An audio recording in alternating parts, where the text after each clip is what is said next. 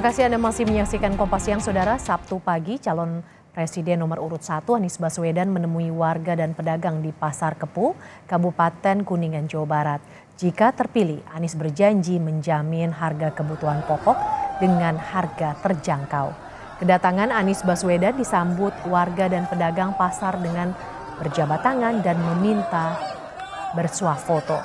Anies yang ditemani istrinya menemui sejumlah pedagang dan berbelanja di pasar.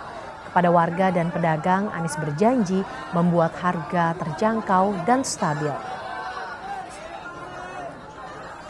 Banyak jajanan-jajanan. Jadi dulu kalau ke sini e, cari jajanan pasti datang ke pasar kepuh.